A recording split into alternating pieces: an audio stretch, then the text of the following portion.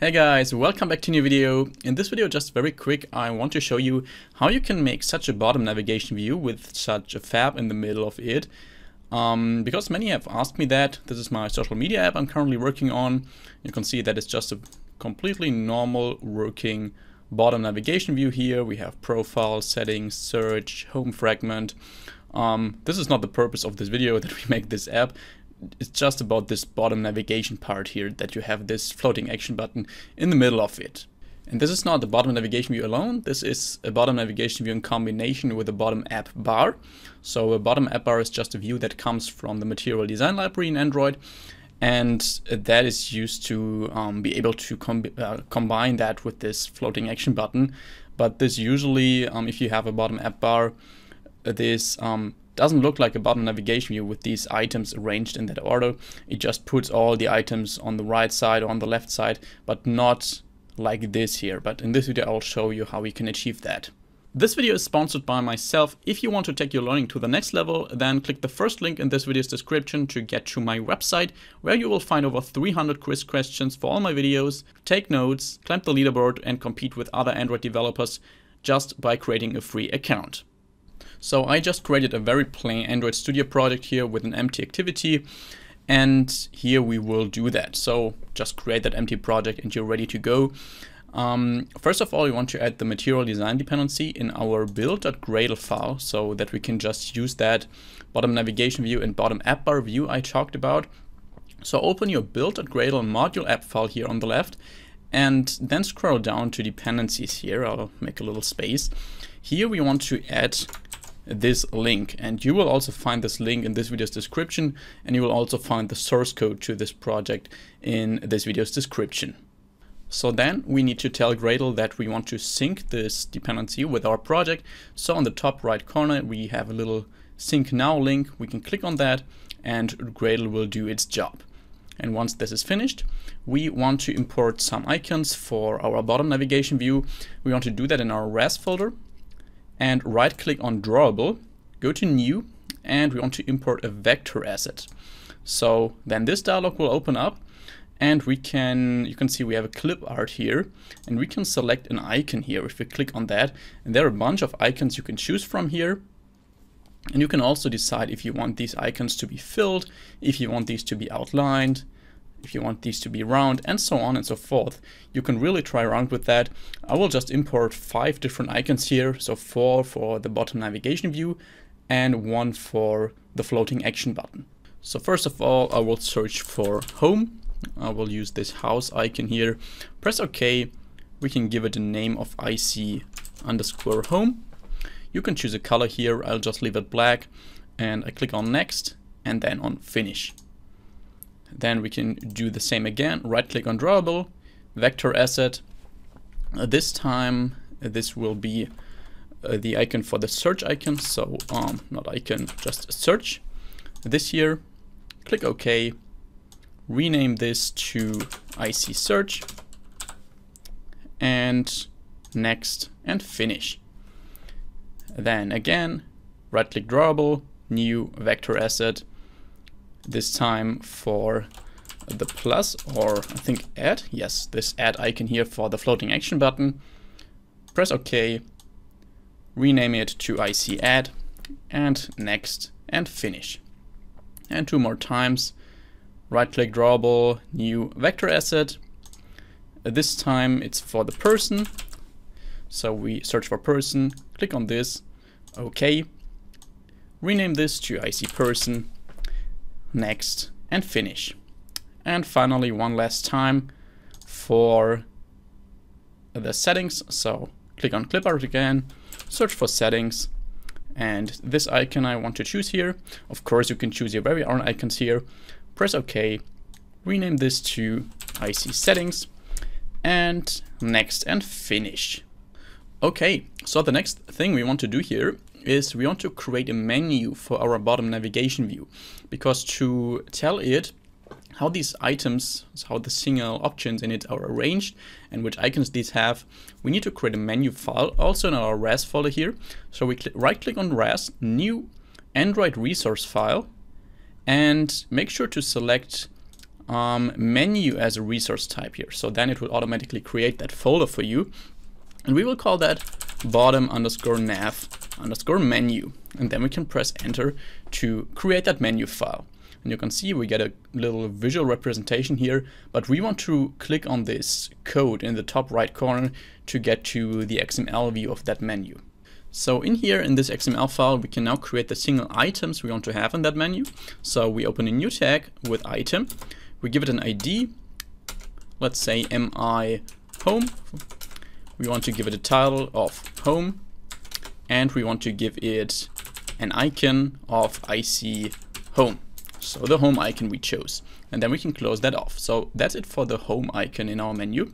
Then we can copy this and paste it three more times for our other menu items. The second one I will call mi search.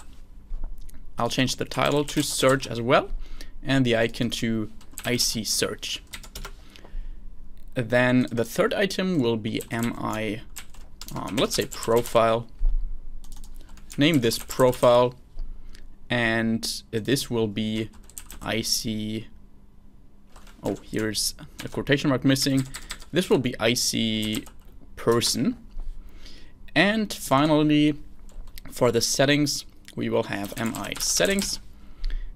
The title will be settings and the icon will be IC settings as well Okay, that's it for our menu file. Next we want to go into our activity main XML file to actually add that bottom navigation view and that bottom app bar I talked about to our design.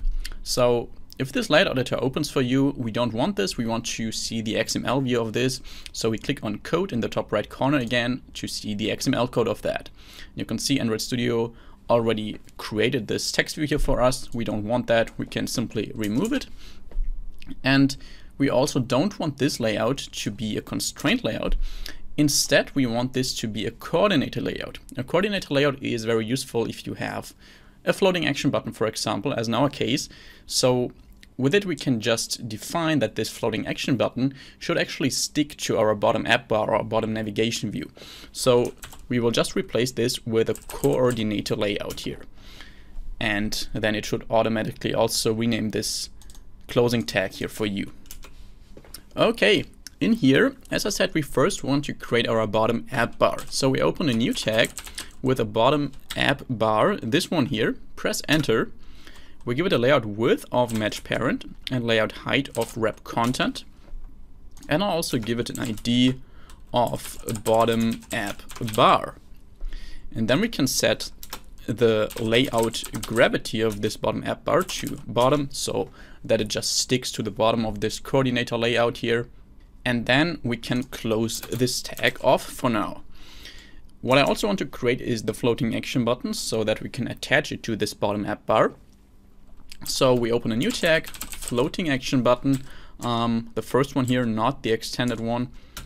And this will have a layout width of wrap content, height of wrap content as well. We give it an ID of just fab.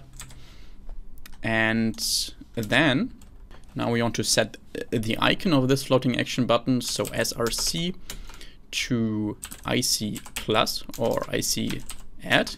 Yes, this one. We want to set its layout anchor. So that is basically to determine to which view this floating action button should stick to, because we're inside of a coordinator layout here that is um, useful. So we will use our bottom app bar for that, so that it just sticks to it. And then we can close this tag off. And if we now take a look in our design tab here in the top right corner, then you will see this doesn't look as we want it. And the reason for that is that we don't use a material theme yet. We use material components here, but not a theme. And to change that, we need to go into our values folder here into styles.xml. And here you can see this is the place where we can choose the, the theme for our app. And we want to use theme.material components. And if we now take a look back in our activity main XML, you can see that looks kind of as we wanted here. So if we zoom in, we have our floating action button attached to this bottom app bar. And the cool thing now is that we have some options to change how this circle here looks like. So if we go back to our code tab, to our bottom app bar, we could, for example, set the fab cradle margin to some amount of dp here. So for example, to 20 dp. If we now take a look back in the design tab, you will see that the margin or the, the circle is much bigger now. So just feel free to play around with these values. We also have some other values here, like if we just type cradle, the cradle vertical offset, for example, to 10 dp, this will just move the fab 10 dp to the top and this circle as well. And we have um, cradle rounded corner radius here, which is pretty cool. So if we set that to 20 dp and take a look in the design tab, then you can see that these corners here are actually rounded. But now we are of course missing the bottom navigation view so that we have our menu items to choose from. And for that we will go back to our code tab to the XML view. And what I will do is instead of closing the, the tag here for the bottom app bar, I will open it like this so we can put a view inside of that. And here we will put our bottom navigation view this time. So this view here with the view, uh, the width of match parent and the height as well. Also match parent. We will give it an ID of bottom navigation view and we will set the menu of it to our bottom nav menu and then we can simply close that tag off. Let's see how that looks in our design tab here. Okay, it, it looks fine, but not exactly as we want it. So on the one hand, you can see here is a little shadow, and there's also some space at the left hand. And these items here aren't really arranged in a way as we want it. And of course, it's also overlapping the circle here. So what I actually do here is, to solve that problem, on the one hand, we will also add some margin to the right because I don't think we can fix that margin here. So we will also attach that to the right. And we will make the background of this bottom navigation view transparent so that we see that um, circle again. So let's go back to our code tab and in here to our bottom navigation view, we will attach some margin and here of exactly 16 dp and we will also set the background of this bottom navigation view to Android color transparent. And if we now take a look back in the design tab, you can see that it is kind of, the margin fits now, but it still doesn't look that good because there's still this shadow. And I personally actually don't know why this shadow occurs here because the background is transparent, but luckily I know a way to fix that. And we cannot fix this in XML. We need to go to our main activity. And in here, we need to use our bottom navigation view and write a dot after that and use background and just set it to null. So that will completely remove that shadow here. Of course, in XML, you will still see it, but once we start our app, this shadow will be gone here. And now the last problem we have is that these items aren't really aligned very well. And we can easily fix that by simply adding a placeholder icon, an in invisible icon, in the middle of that. So we simply go back to our bottom nav menu here, still open here, and after the, the second item here, we will launch, we will not launch, we will um, open a new tag for a placeholder item. So we set the ID to placeholder and we let the title just be empty and we don't set any icon to that of course. And then uh, this will actually, if you take a look in activity main, you can see now these are aligned much better, but we're still able to click on the middle icon. So if we would click exactly here, then this little bubble would appear if you click on an item.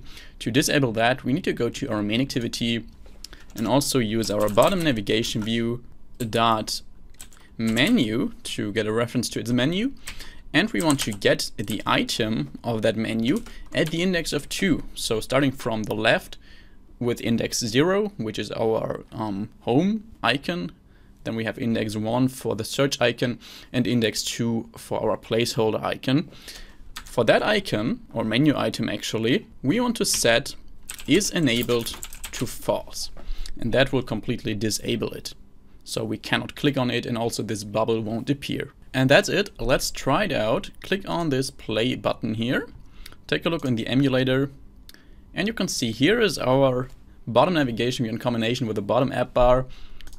The bottom navigation is working perfectly fine. Of course, it doesn't do anything now. That is something you need to do, for example, to connect it with a navigation component library. And also the fab is, of course, not working here because we haven't set an on-click listener to that. But that is something that you should be able to do, um, or that you need to do actually. This is just a tutorial how you can set up this combination of bottom app bar and bottom navigation view. If you like this video, then please hit the like button and especially if you're not a subscriber of my channel, then quickly click on the subscribe button below and make sure to do that. You'll get regular Android content every second day. And yes, I wish all of you a very pleasant day. See you in the next video. Bye bye.